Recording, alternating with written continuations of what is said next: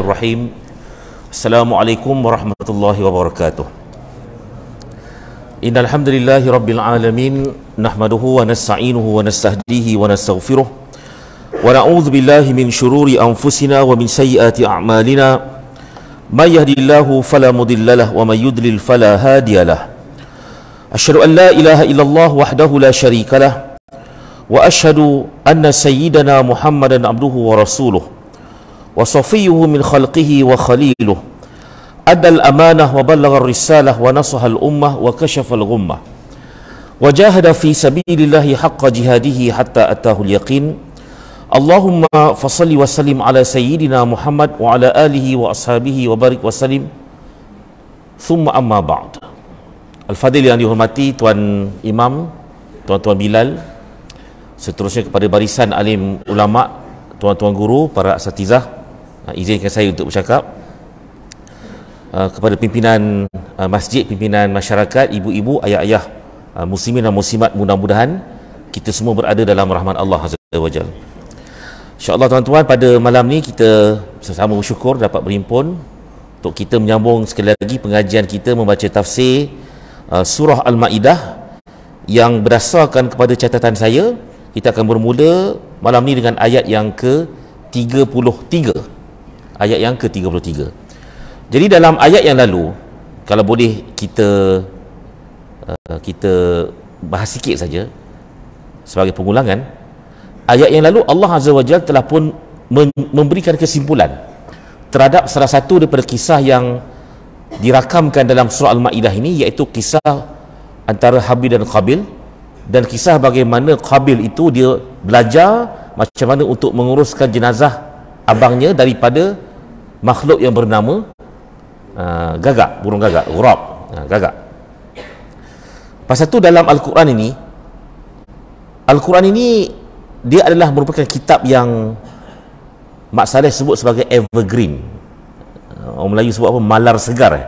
malar dia dia sentiasa relevan sepanjang masa. Dan ada saja benda baru yang kadang-kadang kita boleh belajar.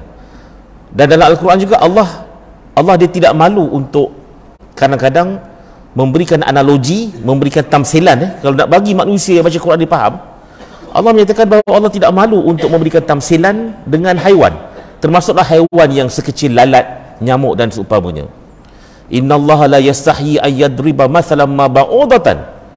Allah Allah tidak rasa malu pun untuk memberikan tamsilan, analogi.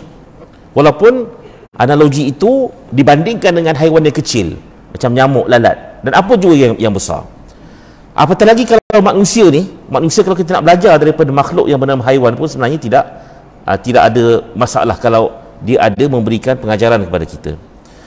Lepas tu Allah juga menyimpulkan bahawa betapa daripada kisah uh, pembunuhan Habil itu yang merupakan satu jenayah uh, pembunuhan yang pertama dilakukan dekat bumi ini uh, maka Allah telah menyatakan bahawa di antara di antara nikmat yang paling terbesar yang Allah berikan kepada manusia ini adalah an-nafs iaitu nyawa.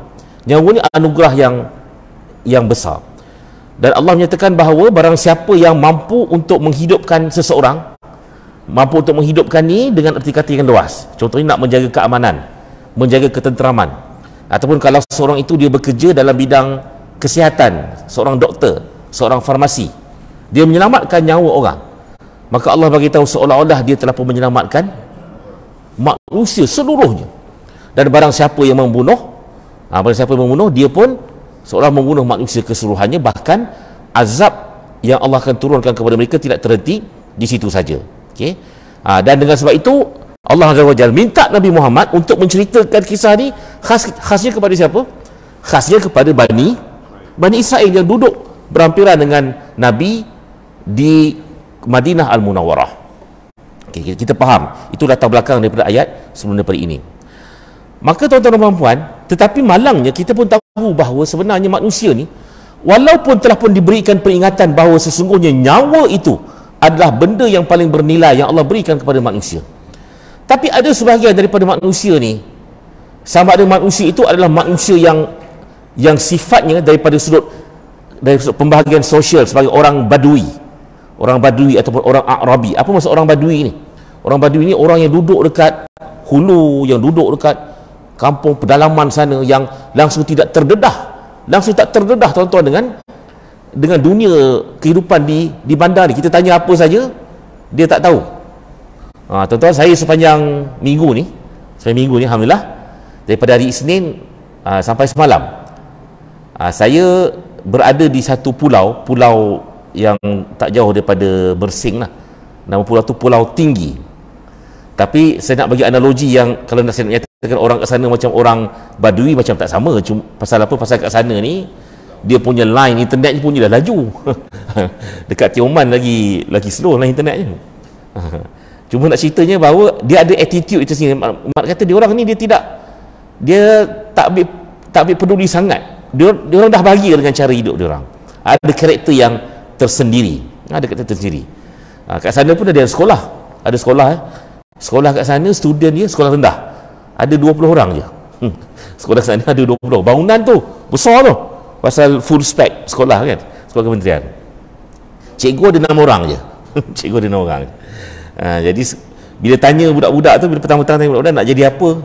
Ha, semua semuanya nak jadi apa? Semuanya nak jadi nak jadi uh, boat operator nak jadi nelayan ha, maka itu itu latar belakang kehidupan mereka yang ada hikmahnya kenapa Allah jadikan begitu okay?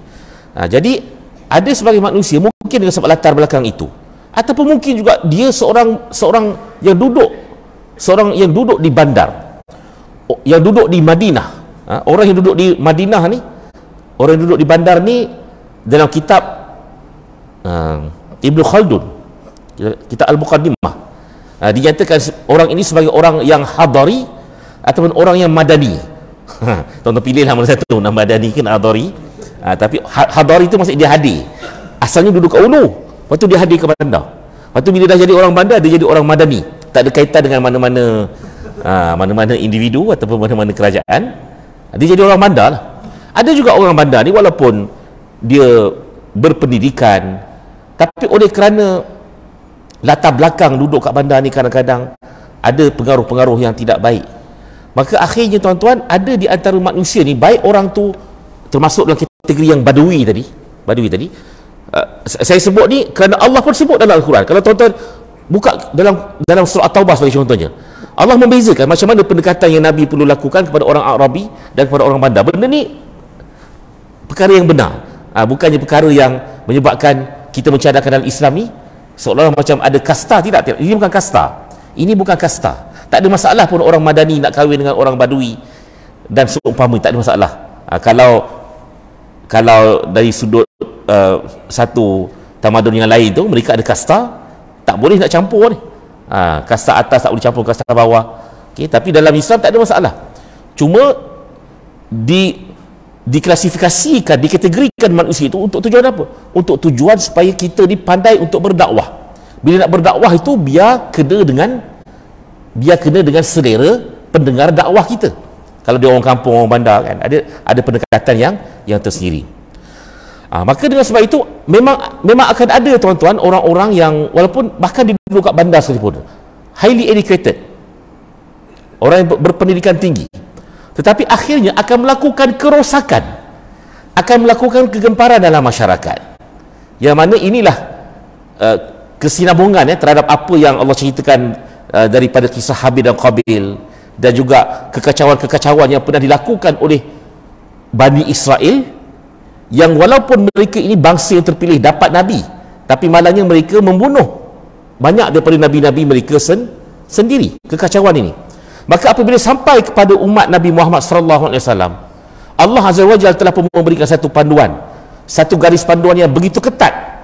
Kalaulah ada di antara mana-mana pemimpin dalam negara Islam ulil amri yang boleh mengesan mana-mana kumpulan mana-mana individu yang cuba untuk melakukan kekacauan dalam masyarakat. Maka ayat yang kita nak mula malam ni iaitu ayat ketiga-tiga ni dia memberikan intervention dia memberikan panduan kepada kita apakah tindakan yang perlu dilakukan? Dan tuan-tuan mungkin ayat yang saya baca pada malam ni mungkin satu ayat dua ayat saja. Ha, jangan terhenti di sini. Pasal ayat yang kita akan baca ni dia nampak seolah-olah macam agak agak keras lah agak keras. Ha, jadi Quran ni dia tak boleh baca satu dua ayat aja dia kena tengok ayat yang lain juga. Cuma kebetulan kalau saya terhenti pada satu dua ayat uh, jangan mengandaikan itu saja pendekatan agama kita dalam persoalan ini. Allah menyatakan dalam ayat yang ke-33 innama jazaa'ul ladzina yuharibuna Allah wa rasulahu. Hanya saja balasan orang-orang yang memerangi memerangi Allah dan juga memerangi rasulnya serta melakukan bencana kerosakan di muka bumi. Wa yas'auna fil ardi fasadan. Mereka ni berusaha bersungguh-sungguh untuk melakukan kerosakan dekat muka bumi ini. Allah bagi tahu ada jazak dia. Jazak ni maksud balasan lah. Balasan ini perlu dilakukan oleh pemerintah zaman Nabi Muhammad siapa yang melakukan pembalasan ini? Yang melakukan adalah Nabi Muhammad. Ataupun ada sebagian sahabat yang nanti kita akan tengok sebab nuzulnya sebagian sahabat dia faham akan fake ayat ini maka dia terus buat tindakan. Lalu dia aju kepada Nabi Muhammad betul ke tak betul tindakan aku ni? Itu di antara benda yang pernah berlaku. Maka apakah balasan kepada mereka-mereka yang ber, berperang memerangi Allah memerangi Rasul dan juga melakukan fasad kerosakan kegemparan dekat dalam kalangan masyarakat ataupun di atas muka bumi ini Allah bagi tahu yang pertamanya hukuman kepada mereka adalah yuqattalu apa maksud yuqatalu? Yuqatalu kat sini kalau pimpinan Rahman dia terjemahkan sebagai uh, dibalas bunuh. Uh, dibalas bunuh ni daripada perkataan qatala dah. Qatala ni maksudnya di, dibalas bunuh. Uh, dibalas bunuh. Ada juga sebagai daripada terjemahan contohnya kalau dalam tafsir Abu Hamka diguna digunakan perkataan uh, digunakan perkataan dibunuh, dibunuh mereka. Dibunuh mereka nanti kita akan tengok. Betul betul ke kalau mana-mana uh, saja individu atau kumpulan yang melakukan kerosakan ini boleh terus kita bunuh mereka? Itu kita akan tengok nanti tafsiran ayat ini. Itu yang pertama. Yang keduanya Allah juga bagi tahu hukuman yang kedua. Kalau didapati tidak boleh untuk dibunuh maka hukuman yang kedua yusallabu. Yusallabu. Apa maksud yusallabu? Daripada perkataan apa yusallabu ni? Dia daripada perkataan salib.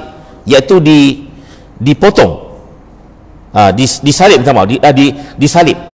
Apa, apa maksud disalib ni? Disalib ni mak kata manusia yang melakukan kerosakan dan melakukan uh, pembunuhan ini apa yang akan dilakukan kepada mereka ialah mereka ni akan diikat dekat tiang diikat dekat tiang kemudian dipalangkan dan kemudian dibiar dijemur dekat panasan sampai uh, sampai mati. Sampai mati. Uh, itu yang kedua yang ketiganya auto aidihim wa arjuluhum min khilaf. Iaitu kalau didapati tidak boleh dibunuh tidak didapati tidak boleh disalib maka perlulah dipotong. Dipotong ah, dipotong tangan dan kaki mereka secara ber, berselang. Apa maksudnya? Apa maksudnya? Maksudnya kata kalau kalau didapati kali pertama melakukan jenayah dan didapati oleh pihak mahkamah bahawa memang jenayah itu memang memang benar-benar berlaku. Dia ada berlaku dia ada berlaku al, uh, apa yang dipanggil sebagai burah ataupun uh, al, al, al okey. Uh, maka tangan tangan kanan mungkin dipotong dulu. Lepas tu kalau dia melakukan jenayah tu kali kedua potong mana pula? Potong kaki belah kiri dan seumpamanya. Jadi itulah dia yang, yang disebut dalam ayat ini. Kemudian disambung lagi uh, kalau kalau tak ada apa lagi hukum, pilihan hukumannya? Pilihan hukuman yang keempat adalah ayun fau minal ardi. Uh, ataupun dibuang saja negeri kalau mereka mengganggu ketenteraman umum. Allah menyatakan zalika lahum khizyun fid dunya. Hukuman yang demikian adalah satu kehinaan di dunia bagi mereka. Walahum fil akhirati azabun azim dan di akhirat kelak mereka akan memperolehi azab seksa yang amat besar okey Kemudian ayat yang satu lagi kita baca lah ayat satu lagi kita baca supaya nampak dia punya keseimbangannya. Ayat 34 Allah juga menyatakan illal ladzi ada kecualinya. Ada kecuali. Jadi tuan-tuan jangan baca satu ayat je. Ada pengecualiannya. Apa yang terkecualinya? Yang terkecualinya ialah illal ladzina tabu. Kecuali orang-orang yang sempat bertaubat min qabli an taqdiru alaihim sebelum kamu dapat menangkapnya dengan sebab jenayah yang didakwa tersebut. Fa'lamu annallaha ghafurur rahim. Maka ketahuilah bahawasanya Allah itu Tuhan yang bersifat maha pengampun lagi maha me mengasihani. Okey tuan-tuan. Ini dua ayat yang Allah ceritakan mengenai hukuman mereka-mereka yang melakukan jenayah uh, hirabah uh, burah dan supamanya okey. Dalam kitab tafsir tuan-tuan okey Abu Yamka menyatakan bahawa ada perbezaan pendapat dalam kalangan ahli tafsir terhadap sebab nuzul akan ayat dua ayat ini. Terutamanya dalam menghubungkan dengan ayat-ayat yang sebelumnya. Pasal itu tadi saya ulang balik ayat sebelumnya yang menceritakan akan perihal uh, burung gagak kemudian uh, habil qabil dan pesanan amaran Nabi Muhammad ke atas Bani Israel supaya jangan kau menyambung lagi kegiatan bunuh-membunuh ni. Uh, maka di sana tuan-tuan ada beberapa ulama yang mencadangkan sebab nuzul. Kenapa ayat ini diturunkan? Yang pertamanya ialah yang pertama kita tahu bahawa yang pertama kita tahu bahawa surah ini dia adalah surah Madaniyah. Semasa Nabi Muhammad dah duduk dekat dekat Madinah. Dan bersama-sama dengan orang Madinah ni yang turut menjadi warga negara Madinah ni termasuk dalam kalangan mereka adalah orang ahlul kitab orang Yahudi. Orang Yahudi. Walaupun orang Yahudi ni dia tak dia tak duduk sekali dalam kota Madinah ni. Tetapi bila sebut kota Madinah ni kota Madinah zaman sekarang ni kalau siapa yang pernah pergi ke Madinah tu Nabi. Pernah pergi ke Masjid Nabi? Bila disebut kota Madinah zaman Nabi hak bangunan Masjid Nabi tu Masjid Nabi sekarang ni yang dah diluaskan yang dah yang dah expansion tu yang di, dah dibesarkan tu itu dah ada kota semasa zaman Nabi. Orang-orang Arab Arabi orang Badui orang Yahudi duduk kat luar. Ha, duduk kat luar. Tapi walaupun mereka ni duduk kat luar dalam piagam Madinah dalam perlembagaan Madinah mereka ni iktiraf menjadi salah satu daripada warga negara Madinah ha, contohnya ada satu klausa dalam piagam Madinah itu disebut inna Yahudi Bani Auf ummatun min ummatina. Sesungguhnya Yahudi Bani Auf adalah salah satu daripada umat kami. Dan mereka mendapat privilege. Mereka mendapat keistimewaan selagi mana mereka ini membayar apa? Kalau orang Islam membayar membayar? Orang Islam bayar apa? Zaman Nabi lah. Zaman sekarang memang bayar cukai pintu cukai cukai asis semuanya kan. Zaman Nabi bayar apa? Uh, zaman bayar zakat itu orang Islam. Kalau orang non Muslim semasa zaman Nabi membayar, membayar apa? Membayar jizyah. Yang yang daripada pembayaran jizyah tersebut oleh kerana dulu tak ada lagi sistem utility ni. Zaman sekarang kita bayar kita kita dapat utility dapat servis kan? Tapi zaman dulu bayar jizyah ni Nabi garanti apa? Nabi garanti akan dapat perlindungan. Dapat perlindungan tapi syaratnya dia kena menjadi seorang warga negara yang baik. Kena mempertahankan negara ha, lalu apabila berlakunya keadaan di mana terdapat sebahagian daripada orang-orang Yahudi yang mula mula belot terhadap negara Madinah di sana ada Yahudi Yahudi Quraidah, Yahudi Yahudi Bani Nadir. Ha, Yahudi Bani Nadir ini semua di antara Yahudi-Yahudi yang yang yang belot. Maka menyebabkan ha, mereka akhirnya diperangi. Pasal tu kalau kita tengok macam mana step satu persatu itu semuanya dilakukan oleh Nabi ke atas mereka. Kebanyakannya lah. Yang pertama mereka tu diperangi. Dan paling kemuncaknya eh, kemuncaknya adalah mereka tu apa? Yunfau minal ardi. Mereka ni yang hidup contohnya kanak-kanak uh, contohnya orang remaja yang tak ikut berperang uh, kemudian wanita yang tak nak jadi uh, warga negara Madinah kan, yang masih nak nak bergaduh juga maka mereka ni telah pun ditamatkan kerajaan mereka dan dibuang negara uh, dibuang negara pasal tu mereka sekali lagi hidup dalam keadaan merempat tu lah diaspora tu orang Yahudi ya. jadi itu sebab nuzul yang pertama uh, di sana ada juga ulama seperti mana yang disebut dalam hadis Sahih Bukhari ya. Bukhari dan juga dalam Sahih Muslim uh, berdasarkan pada hadis daripada Anas bin Malik uh, bahawa semasa zaman Nabi wasallam ada dua dua kabilah ni. Pertama kabilah yang bernama kabilah Uqal dan yang kedua ialah kabilah Urainah. Mereka ni adalah orang kampung. Mereka ni orang orang kampung, tuan-tuan. Bila sebut orang kampung Arab ni, mereka memang kampung sungguh lah. Memang kampung sungguh. Memang orang Arabi. Uh, bahkan ada di antara orang kampung ataupun orang badui dekat Madinah ni ada satu kabilah satu kabilah dia punya dia punya dia punya orang kata ketinggalan ya sampai tahap cara bercakap Arab mereka pun lain ha, ada satu kabilah Arab nama tum, kabilah Tumtumnya yang mana kabilah Tumtumnya ni orang badui mereka ni bila sebut lam alif lam alif lam kan lam lam tu mereka akan sebut sebagai huruf mim. Ha, macam akan dia akan jadi apa? Macam pelat lah macam pelat. Kan kalau orang sebut al al al nampak macam gah asyam kan. Tapi orang tum ni bila jumpa dengan nabi dia kata amsiam amsiam okey? Uh, kemudian kalau al khair kebaikan dia akan sebut am khair. Am, dia dia jadi sengau.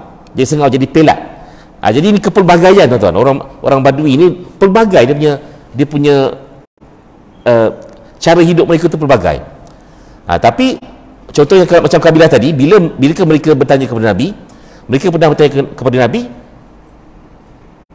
uh, mereka mereka bertanya kepada Nabi mengenai apa? Mengenai satu persoalan hukum puasa lah, hukum puasa. Dan Nabi bila Nabi menjawab, Nabi Nabi mengajuk dengan dialek mereka.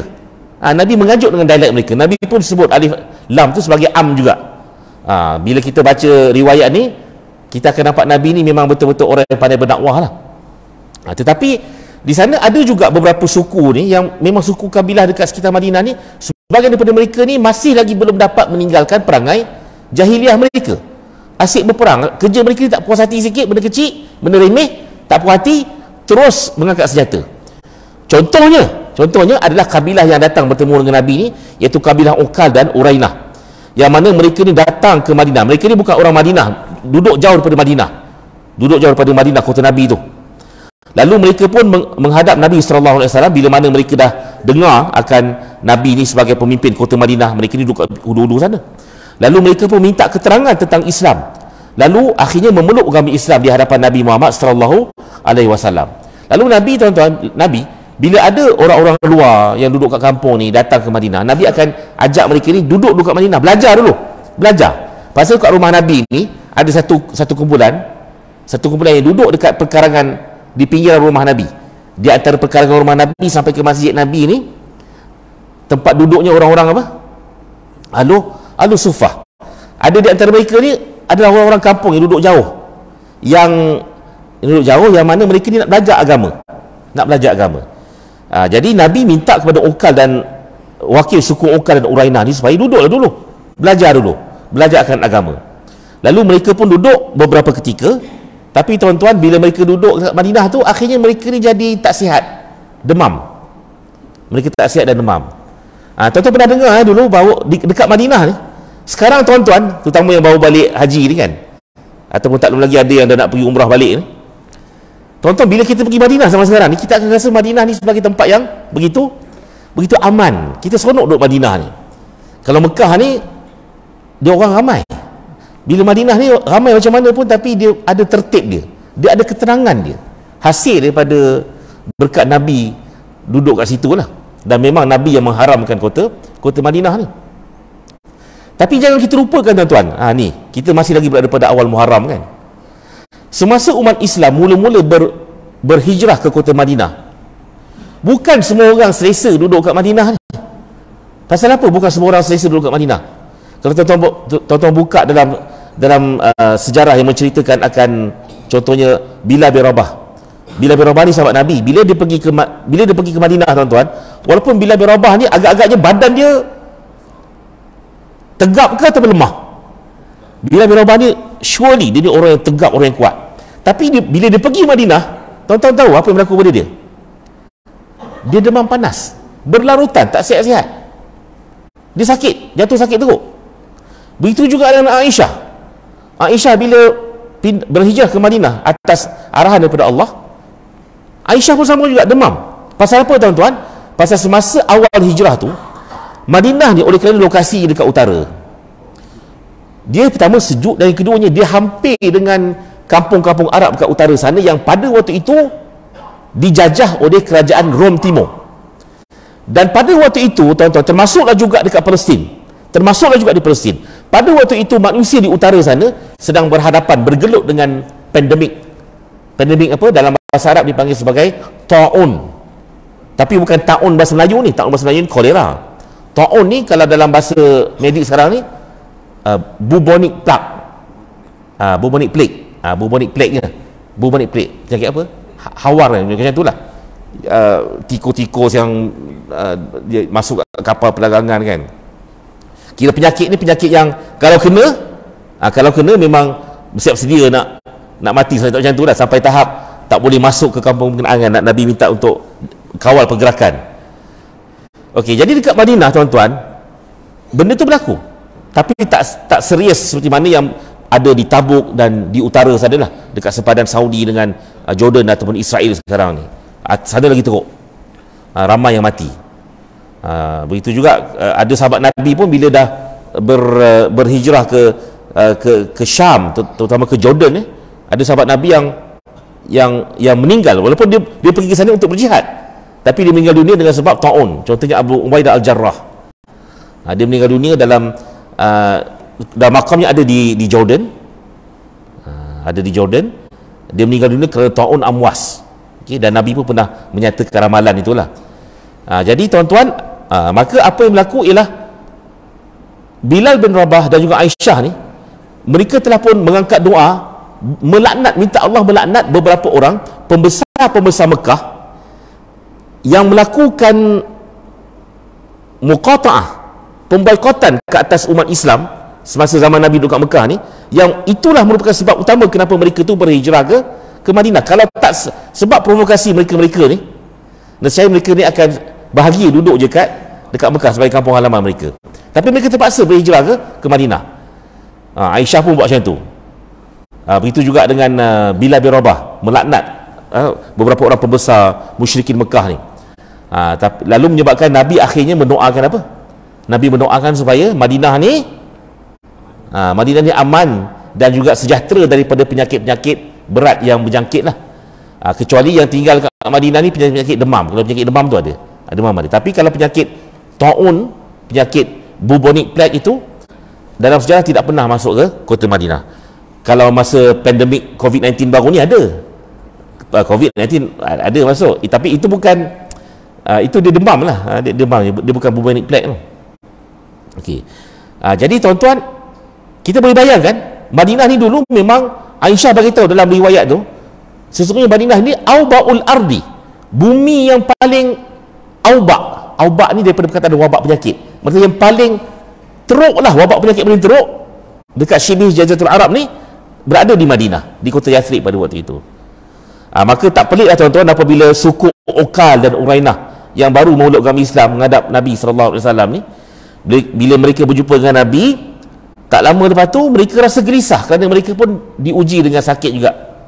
Diuji dengan sakit.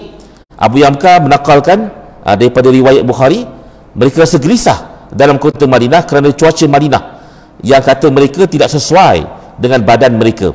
Lalu apa yang yang Nabi buat untuk memujuk mereka ni? Mak kata kalau Nabi Nabi kata kau stay lah dulu cuba lah dulu kan? Uh, mungkin mereka ni akan keluar Islam terus. Tapi Nabi faham bahawa suhu Madinah itu tak sesuai untuk mereka.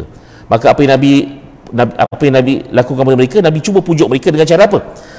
Nabi telah pun memberikan pin, memberikan pinjaman beberapa ekor unta. Ha, ini hebatnya Nabi ni.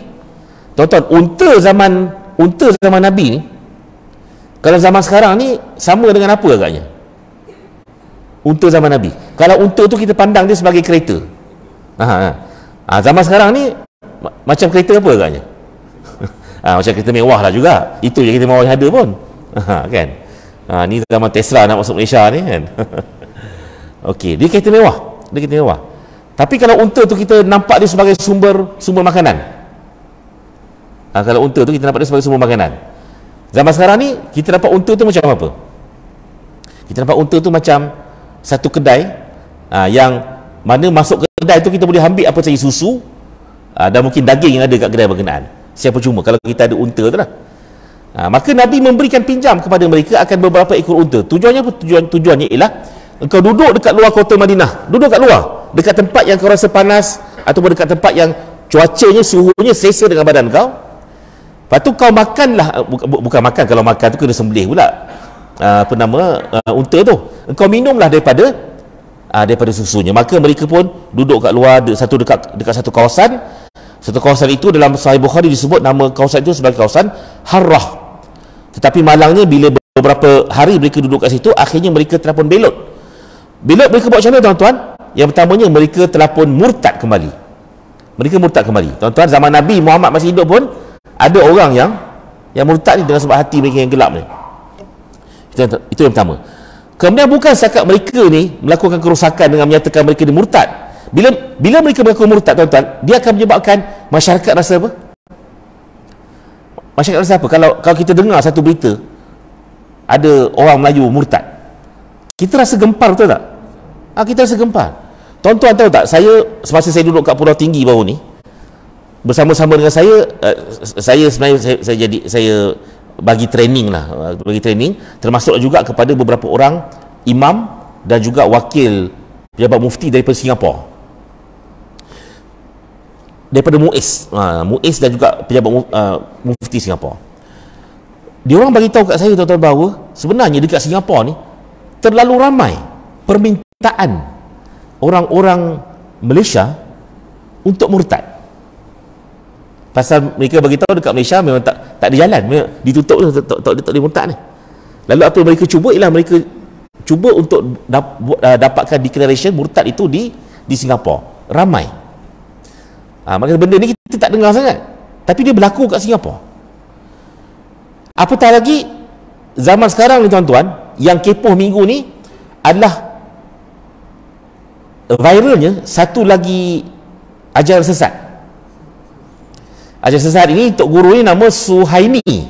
Ah, nama nama Tok Guru ni Suhaimi. Ada sini nama Suhaimi. Bukan Suhaimi Suhaimi. Ha, tapi orang panggil dia Si tu Hak. Tuan-tuan tahu Hak tu? Yang hijau tu? Bapak kau hijau tu tu Hak tu. Hak tu. Ha, dia Si Hak kan? Ha, Si Hak. Tu ajaran Si Hak. Tuan-tuan tahu tahu tak apa ajarannya? Ajarannya dia menyatakan bahawa apa? Dia menyatakan bahawa Nabi dia panggil Muhammad tu Nabi tau. Dia panggil Nabi Muhammad itu adalah Allah. Allah tu Nabi Muhammad. Benda ni berlaku dalam masyarakat dan dia menyebabkan kita kalau yang tahu dia akan rasa tak rasa rasa tak tak nyaman tak tenteram. Dan tuan-tuan ideologi ni aja sesat ni sebenarnya rupa-rupanya dah lama dah. Dah lama. Cuma yang yang kita timbul tanda soal tu ialah kenapa tak ada tindakan yang diambil. Ha, hanya satu negeri saja saya dipahamkan yang telah pun uh, menggazetkan ataupun me, mewartakan fatwa mengenai uh, pengharaman ajaran tersebut lah satu negeri di, uh, di, di, di Johor saja di Johor. Dan mereka ni mereka ni ada pengikut dalam kalangan dalam kalangan keluarga-keluarga mereka sendiri ada ada dah beranak pinak dan dah berkeluarga kan uh, dan mereka ni sekarang ni menguasai dan mempengaruhi minda masyarakat di media sosial. Ha, tuan-tuan kita ni duduk paling kuat pun tuan-tuan duduk mana dekat uh, WhatsApp, dekat Telegram, Facebook ramai orang ada kan Facebook. Ha, tapi mereka ni berlega-lega kat mana? Berlega-lega dekat TikTok, dekat social media yang baru ni. Dan bila kita tengok komen komen yang tengok uh, feedback daripada mereka ni agak merisaukan. Ramai yang nak tahu. Ramai yang tahu. Pasal ajarannya macam menarik, ajarannya macam appealing lah kan. Uh, dia kata walaupun dapat kelakar pasal dia kata apa? Dia kata Nabi Muhammad itu tidak beranak. Memang Nabi Muhammad tak beranak, dia laki. Uh, kata Nabi Muhammad itu dia tidak boleh memberikan zuriat. Nabi Muhammad juga tidak diperanakkan. Uh, pernah pernah ada satu dialog dilakukan dengan uh, Sihak ni. Uh, bila ditanya, so macam mana dengan uh, macam mana dengan Nabi Muhammad? Sebelum Nabi kalau Nabi Muhammad itu Allah, sebelum Nabi Muhammad lahir sebelum Nabi lahir di mana? Di mana Muhammad? Di mana Allah? Ha, tapi dia dia akan jawab bodoh. Dia kata tiba-tiba je ada. Ha, tiba-tiba Muhammad tu ada. Lepas tu bila disebut nama-nama anak Nabi ha, sebut nama-nama anak Nabi. Siapa contoh anak Nabi ha, Ruqayyah kemudian uh, uh, Fatimah dan sebagainya kan? Mereka kata itu itu anak Fat, itu anak Khadijah.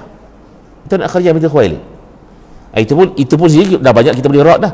Pasal Nabi Muhammad bukan dapat anak daripada Khadijah saja. Nabi Muhammad tu dapat anak daripada siapa? Nabi Muhammad tu dapat anak daripada contohnya Maria Al-Qibtiyah iaitu Ibrahim.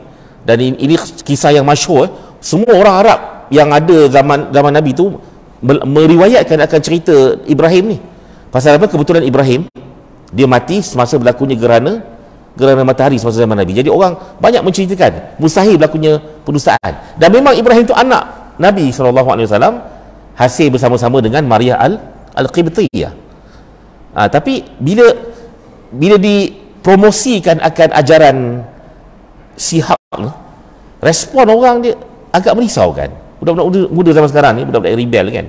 Pasal tu kita bagi tahu kepada umat Islam bahawa dalam nak berdakwah ni, dia bukan semata-mata kita nak bagi ilmu bagi fakta je. Kepada ibu dan ayah bila nak ajar Islam ni bila nak mengislamkan anak kita nak mengajar cara solat cara berakidah ni dia bukan semata-mata kita sampaikan ilmu saja. Tapi dia perlu disampaikan dengan apa? Orang yang tak puas hati ni orang yang mengikut ajaran sesat ni kebanyakannya dia punya jiwa dia rosak pasal apa? Dia tak ada perasaan kasih sayang tu. Ha, mak kata kesalahan dalam berdakwah ni antaranya antaranya termasuk saya juga. Termasuk kita sebagai mak dan ayah mungkin mungkin mungkin kan. Ialah kita mengajak anak kita tu dalam keadaan tak ada kasih sayang. Kita hanya menyampaikan saja ha, ilmu-ilmu. Ha, tapi love and care tu tak tak mereka tak rasai. Lalu mereka mencari di di tempat lain kan. Ha, jadi yang murtad yang ikut Kristianiti ni pun pasal apa? Orang Kristian tema dalam missionary mereka apa? Tema utama adalah love and care. Ha, ayat yang sayangilah jiran kau sama seperti kau menyayangi jiran uh, diri kamu kan?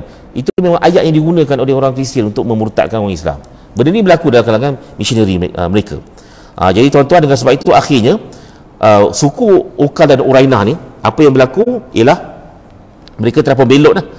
mereka uh, belot uh, bukan setakat mereka murtad saja tapi unta tu uh, unta tu Nabi bagi ke Nabi pinjamkan Asalnya Nabi pinjamkan, dia ambil. Oh, dia, dia ambil. Lepas tu unta tu Nabi bagi pinjam sekali dengan package ada dia punya apa? Dia punya penggembala. Ah ha, penggembala. Hak wakil daripada suku Ukar dan Uraina ni membunuh pula akan penggembala tu, membunuh. Melakukan pembunuhan, kemudian merompak harta ni, merompak harta uh, Nabi iaitu unta yang mem- membekalkan susu kepada mereka. Dan juga akhirnya murtad. Ha, murtad. Ha, maka hasil daripada itu akhirnya Nabi Muhammad SAW dalam hadis telah pun menghantar beberapa utusan. Dalam kalangan sahabat Nabi satu satu uh, satu petrol satu uh, satu batalion uh, uh, satu batalion untuk mengejar mereka sampai dapat maka dengan marahnya utusan-utusan Nabi itu dia telah berjaya untuk memintas pergerakan suku Okar dan Urainah sebelum sempat uh, sampai ke kampung halaman mereka. Dan apa yang mereka lakukan ialah mereka terapa memotong tangan-tangan mereka. Untuk tangan mereka. Dan juga menusuk mata mereka dengan besi panas. Lalu mereka tinggalkan orang itu di lapangan harrah sampai mati. Macam disalib juga lah sampai mati. Maka apabila okey dalam tambahan riwayat daripada Al-Bukhari yang diterima juga daripada Qatadah ha, dinyatakan bahawa sesudah kejadian itu Rasulullah memberikan peringatan untuk melarang memotong-motong ataupun menganiaya orang yang dibunuh dan hendaklah memperbanyakkan sedekah. Ha, kata janganlah brutal sangat. Ha, tapi mungkin itu sebagai sebagai kejadian pertama, kes pertama kan. Kes pertama yang selari dah dengan ayat tadi. Dalam satu riwayat daripada Imam Ahmad dan Bukhari dan Abu Daud berkata dah saya menerima berita ini dari Ibnu Sirin bahawa kejadian tersebut adalah sebelum datangnya ayat ini. Ha, itu satu pendapat lain lah. Dan menurut satu riwayat daripada Abu Daud dan An-Nasai dan Abu Zinad bahawa ayat ini turun ialah beberapa waktu setelah terjadinya pemotongan tangan dan penusukan mata orang-orang jahat itu dan dalam riwayat itu pun jelas ah, tersebut bahawa mulanya mereka diberi untuk untuk sedekah. Ha, baik tuan-tuan. Ha, maka apa yang boleh kita faham di sini ialah itu sebab nuzul, sebab nuzul.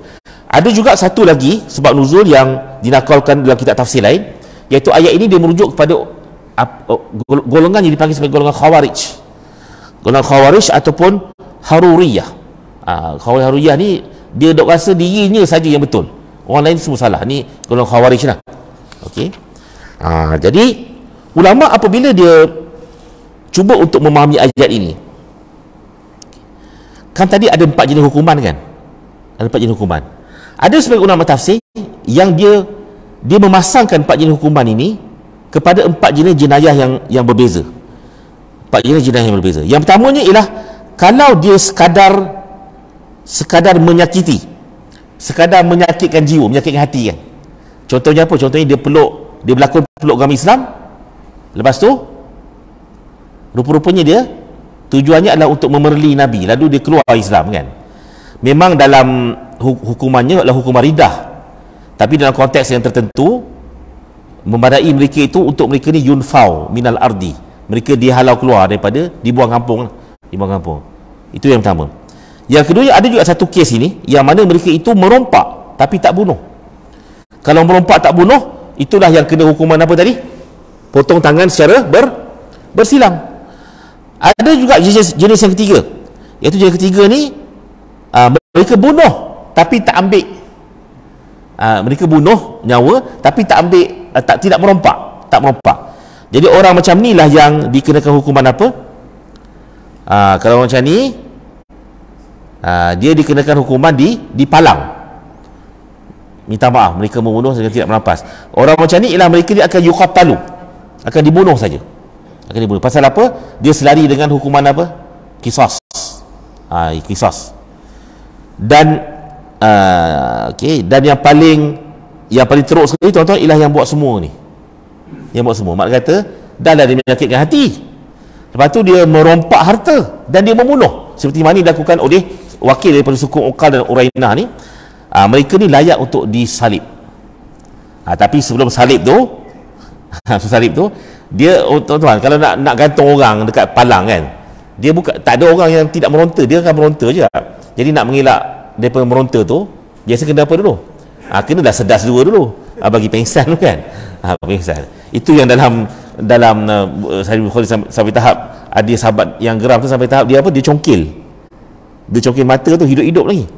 Mati tu bukan sebab congkil mata mati tu dengan sebab lebih kepada di disalib ni Okey tuan-tuan bila saya sebut ni jangan tuan-tuan nampak Islam ni agama yang brutal eh. Ha, kita kena padankan dengan ayat yang berikutnya. Itu ayat berikutnya Allah bagi tahu ilal ladzina tabu min qabli an taqdiru alaihim. Hukuman-hukuman yang disebut tadi empat jenis tadi dia valid perlu dilakukan. Tetapi sekiranya ada pengecualiannya. Allah beritahu kecuali orang-orang yang bertaubat sebelum kamu dapat menangkapnya.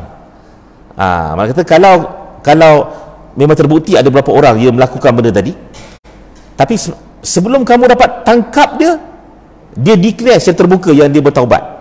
Okey?